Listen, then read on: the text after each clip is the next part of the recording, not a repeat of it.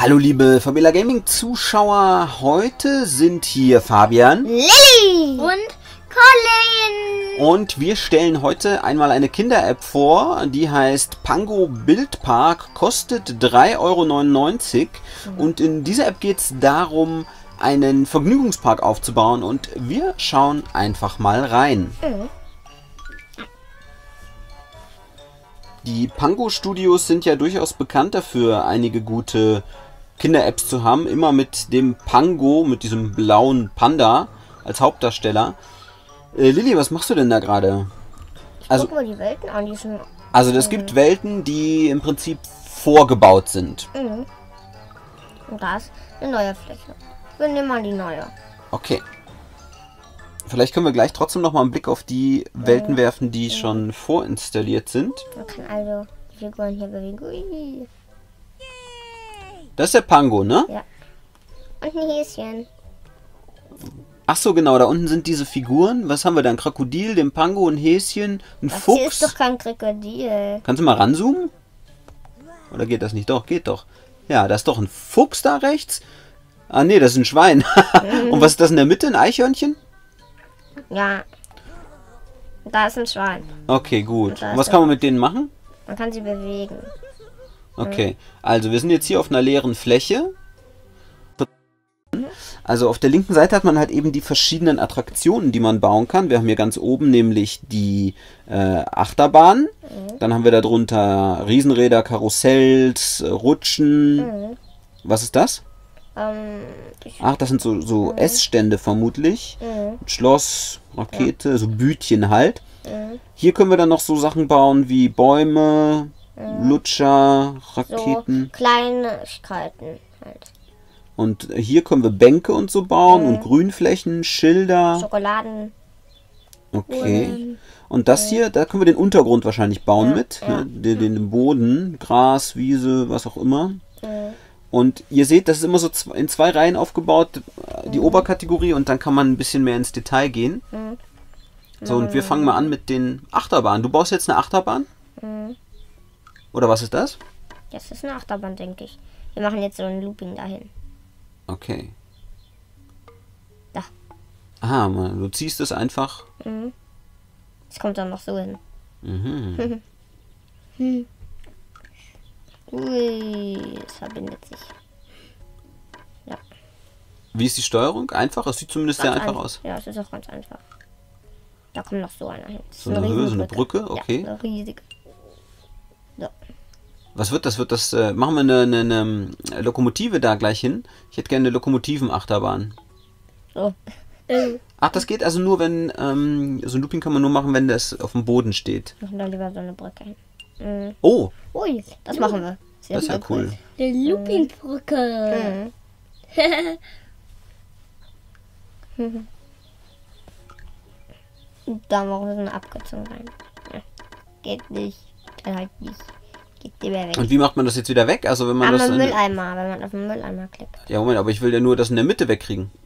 Ja, dann muss man auf den Mülleimer klicken und dann kann man das anklicken, was man weghaben möchte. Aha, okay. Man kann aber auch ganz einfach wischen.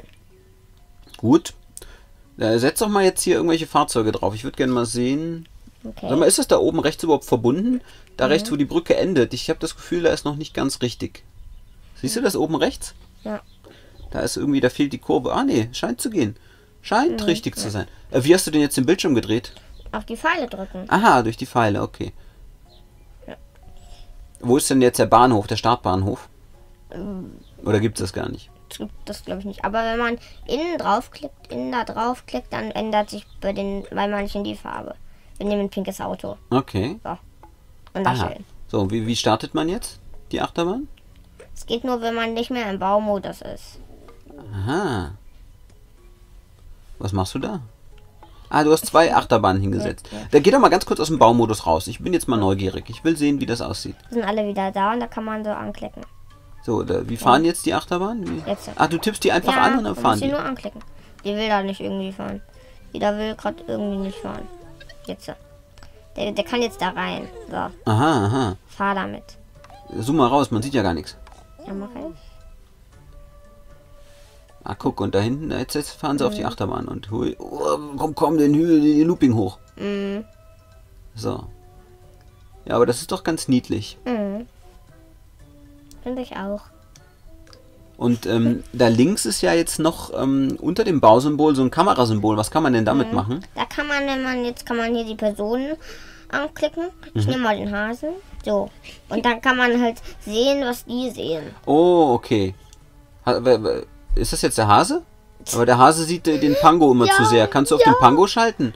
Dann können wir mal mitfahren mit unserer. Äh, so, Pango. So, hey, guck mal schön.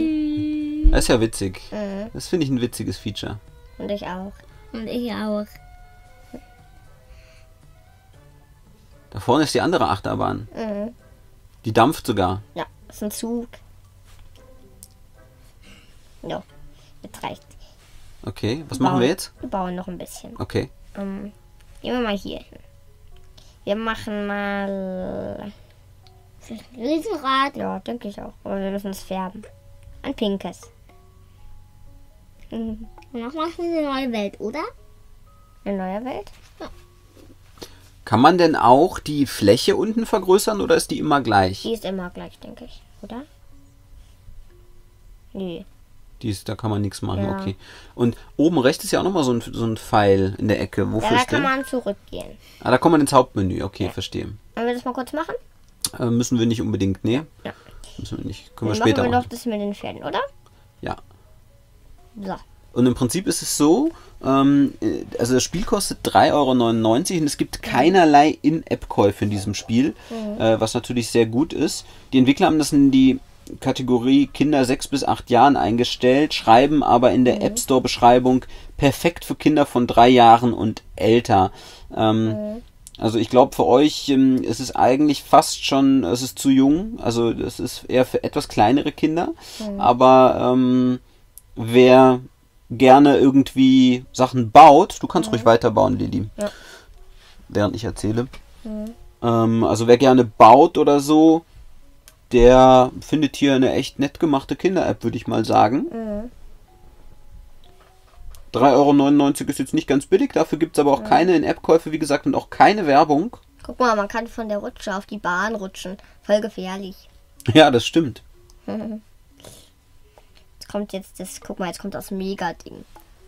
Das ist so eine äh, Schiffsschaukel. Ja. Können die auch wegmachen und dann, man kann sie nämlich auch wegmachen, die Sachen, und dann einfach an den Rand ziehen. Also nett finde ich ja wirklich die, äh, die Sache, dass man eben auch in diesen Attraktionen überall mitfahren kann. Können wir mal gerade irgendwo wieder in irgendeiner Attraktion mitfahren? Die Achterbahn haben wir jetzt ja gemacht. Können wir mal irgendwo anders mitfahren? Also, Das Riesenrad. ja, machen wir. Ach, komm, auf das Riesenrad, geh auf das Riesenrad, kleiner Hase. Ja. Wir können auch einfach jetzt da noch rein. Nee, geh aufs Pferd. Wir machen mal dran zoomen. Kann Man kann alles auch speichern, ne? Also alle Ja. Städte werden gespeichert Ja, oder äh, ja. alle Städte, sage ich schon. Alle, alle Vergnügungsparks. Ja, ja. Man kann das nämlich anklicken und dann wird es los. Okay. Kannst du es nochmal aus der Sicht zeigen, wenn man. Äh, Komm, wir nehmen mal den Pango. Du eins, so. genau. So. Komm, Kannst du jetzt auch drehen? Also dass man richtig Nee, kann man leider nicht. Ach so, man ist jetzt also darauf angewiesen, auf die Winkel, die uns hier vorgegeben werden. Kann man denn jetzt beispielsweise, könnte man gleichzeitig auch die Achterbahn fahren lassen? Also dann könnte man so aus dem Riesenrad sehen, wie die Achterbahn fährt. Wäre das möglich? Ja, das geht. Da muss erstmal irgendeinen reinsitzen. Also es geht auch ohne, aber es ist cooler, wenn man das da rein tut. Jetzt fährt der Fuchs in der Achterbahn und das Schweinchen? Das Schweinchen, das kommt. Wo ist denn der zweite. Zug da vorne? Da hinten kommt das Schweinchen noch rein. Ach, hier, ein Autoscooter. Okay, dann, ähm, Aber der muss weg, sonst. Doch, der muss auch fahren, gut. ja, die müssen beide fahren. Ja, gut, dann äh, gucken wir mal aus dem Panda-Sicht. Park. So, Oh, warte. Oh nein, da fährt die Achterbahn. das muss. So. Zug. Man sieht es nicht. Doch, Moment, da vorne. Ja, ich glaube, das Riesenrad ist jetzt nicht optimal. Mhm. Und du musst beide, beide Achterbahnen fahren lassen. Jetzt sind die, ist die eine Achterbahn voll und die andere reingefahren. Mhm. So. Warte, geh doch mal auf das, Sch- auf das Schweinchen. Das ist da unten im Autoscooter. Guck mal, da geht es jetzt nämlich richtig ab. Mhm. Da sieht man alles. Guck mal, da ist schon richtig Leben im Park. Warum ist denn die Achterbahn? Warum hat ihn da schon wieder angehalten? Weiß ich auch nicht. Eine komische Achterbahn. Wir können noch mal bei dem hier vorbeischauen. Genau, wer war das jetzt? Äh, Das war der kleine Eichhörnchen. wo, wo sitzt der? Der sitzt im Karussell. Ach ja, im Karussell, schön. Da sitzt hier Der der Mann muss rutschen. Ähm, der, der, der kleine Eichhörnchen darf rutschen. Oder das. Ja, die rutschen. Und jetzt sieht das gleich voll komisch aus, wenn wir den jetzt anklicken. Guck mal, das sieht voll komisch aus. Ui, und dann geht Ach ja. der gleich hoch und dann ui. Ey, da guckt das Schwein. Wir können es aber von der Schweinesicht angucken, wie es aussieht. Ist der jetzt auf die Achterbahn gerutscht? Ist der wirklich auf die Achterbahn? Ja, der rutscht jetzt immer wieder auf die Achterbahn. Ja. Guck mal da. Hui. ja, ich würde jetzt nicht behaupten, dass das jetzt irgendeine wahnsinnig ähm, spielerische Tiefe hat, aber das ist ja, soll ja auch gar nicht unbedingt sein. Mhm. Es ist ja für eine eher jüngere Zielgruppe. Mhm. Wir bauen noch ein bisschen. Mhm. Komm, wir machen noch ein Trampolin. Oder ein kleines. Mhm. Wir nehmen mal so ein Schloss hier, so ein dickes. Oh, das geht nicht. Äh, wir packen das Schloss einfach mitten rein. Guck. Hier in der App Store Beschreibung steht, sie werden mit der Achterbahn, also die Charaktere, Pango und seine Freunde, werden mit der Achterbahn fahren und die Spukvilla, die große Rakete und das mittelalterliche Schloss besuchen und sich als Geist, Astronaut oder Prinzessin verkleiden. Wie, wie, wie denn? Wie können wir denn, wie verkleiden Ähm. die sich denn? Man braucht da so ein paar Dinger. Man braucht ein Schloss, so ein Haus hier. Ja? Ähm, Kannst du mal am Boden machen, diese, oder da kann man den Boden, gleich. das sind Ja, diese. Kacheln.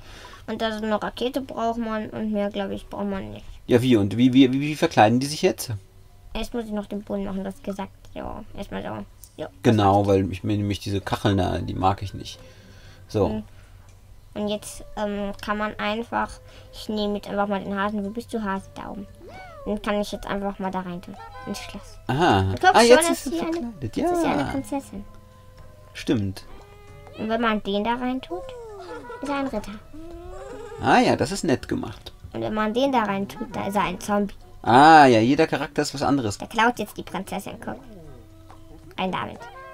Ich will auch rein. Ah, Der ist jetzt, guck mal, da guckt er links aus dem Fenster. Ja. Ja, genau. Ein Eichhörnchen. Sieht so süß aus. Das stellen wir mal da so hin, damit dass der ihn beobachten kann. Ähm, wo der? Das ist ein bisschen schräg. Nee, will ich nicht. Oh nein, der ist rausgebrochen. nein, nicht rutschen. Auf. Du bist keine Rutsche. Das sieht voll süß aus. So, jetzt guckt das. Oh, das ist aufgefangen. Hm, Jetzt bauen wir wieder. Ich würde da mal testen, was bei diesem großen Haus passiert. Im großen Haus? Okay, machen wir noch. Pango. Den können wir doch da rein tun. Ja, und alle. Und Pango. Hey, jetzt sind ja alle ritterlich. Und Pango.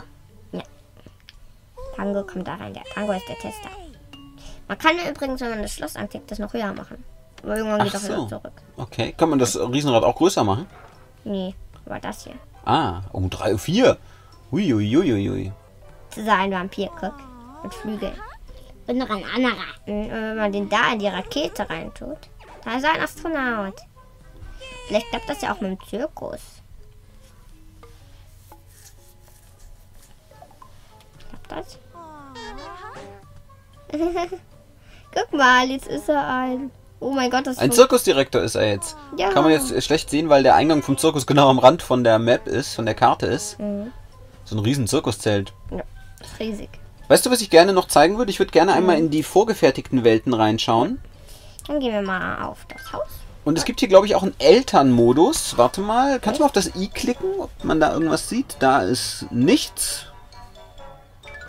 Mhm. Dann auf Play gehen.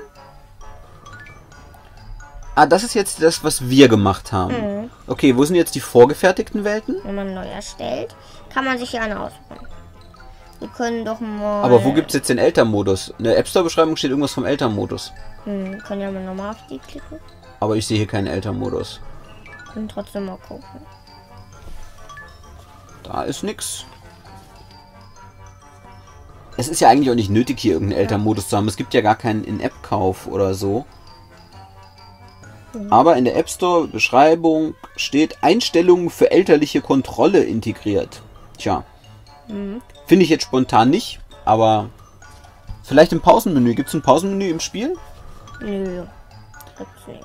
Egal, dann lass uns einfach mal in die Welten gucken, die es so gibt. Welche sieht denn, gefällt euch denn besonders gut? Die hier. Mir, mir nämlich. Hm. Die hier. Ja, die ist so gut. Ja, das ist sehr gut. Regenbogenfarbig. Ja. Wir machen erstmal größer hier. Das geht ja gar nicht. Also, das sind jetzt quasi Welten, die von den Entwicklern vorgefertigt wurden. Mhm. Ja. Und die man aber auch nach Belieben verändern kann. Man muss also nicht komplett von neu anfangen und eine Welt machen. Mhm. Du kommst in den Zirkus, du Kleine. Ey, sie ist ein. Was ist. Was, ist, was bist du? Du bist ein komischer Hase. Ein Löwe. Ja, sie ist ein Löwe, oh Gott. Ach so, wenn der Hase in den Zirkus geht. Oh, du bist ein Clown. Hm. Du bist wieder hier der. der, der direkt so. Hm. Oh, Und der? was ist das? Was ist das? Wer ist das? Geh rein. Oh, Löwe Fälle. sieht alles witzig aus. Das sind witzige Leute. Ja, mir gefällt der hier am besten. Der Kleine. Also Eltern, die für ihre jüngeren Kinder eine App suchen, welche die Kreativität ein bisschen fördern, wo vielleicht auch eigene Geschichten gemacht werden. Das hier ist auf jeden Fall eine liebevoll gemachte App. Ähm, Mhm. ich weiß nicht, wie lange sich Kinder mit sowas beschäftigen würden. Ich glaube, ihr würdet vermutlich nicht so lange damit eure Freude haben. Wir zeigen demnächst noch eine App, wo ihr wesentlich länger mitgespielt habt. Ja. Ähm, aber das hier ist auf jeden Fall eine nett gemachte App für wirklich jüngere Kinder. Einfach um die Kreativität und den Spieltrieb ein bisschen zu, zu fördern. Mhm. Genau. Es gibt nichts Schlimmes, es gibt keine Werbung, keine In-App-Käufe. Das Ganze ist liebevoll gemacht, nette Animationen, nette Charaktere. Nett ist, dass man auch wirklich in die einzelnen Fahrgeschäfte gehen kann und das aus der Sicht von den jeweiligen Personen sehen kann. Mhm. Es ist ganz lustig und ihr habt schon ein bisschen Spaß gehabt damit, oder? Mhm, Wir können auch das jetzt so machen. Wir können den Panko da reintun. Da kann man da so. Und das sieht dann voll toll aus. Das Dach ist offen. Das Dach ist offen, das hat kein Dach. Ja, stimmt. Witzig. Die App kostet, wie gesagt, 3,99 Euro. Mhm. Und das war Pango Bildpark. Wir hoffen, das Video hat euch gefallen. Wir werden auf jeden Fall auch eine Rubrik machen, in der wir weitere interessante Kinder-Apps vorstellen. Wir danken euch fürs Zuschauen und wir sehen uns wieder beim nächsten Video. Tschüss! Tschüss.